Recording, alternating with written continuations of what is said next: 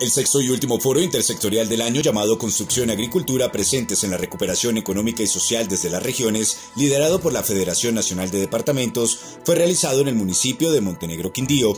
El encuentro contó con la participación de representantes de los departamentos, el gobierno nacional, la academia y los gremios de la región. Durante la instalación del encuentro, el director ejecutivo de la FND, Didier Tavera, destacó los sectores de la manufactura, la construcción, la agricultura, la ganadería y la minería como ejes fundamentales para la reactivación económica en los departamentos de Antioquia, Caldas, Risaralda y Quindío.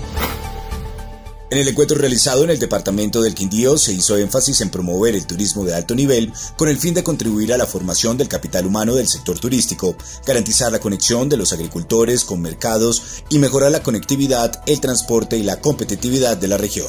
Según informó en el evento, el gobierno nacional ha destinado más de 70 mil millones de pesos a la infraestructura sostenible de los parques naturales y 25 mil millones al fortalecimiento del sector turístico.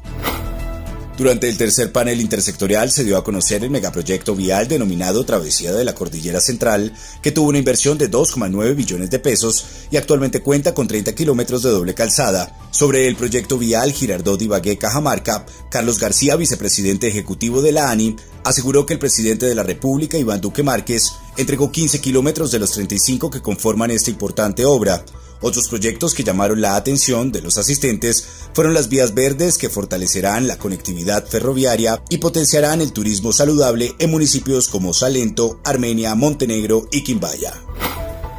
Los secretarios departamentales de Seguridad e Interior y los subdirectores de la Federación Nacional de Departamentos se graduaron del Diplomado en Estrategia, Seguridad y Defensa Nacional realizado por la Escuela Superior de Guerra Colombia junto con la Fundación Konrad Adenauer este programa se realiza con el fin de capacitar a las autoridades departamentales para fortalecer y brindar una mayor estrategia de seguridad en los territorios.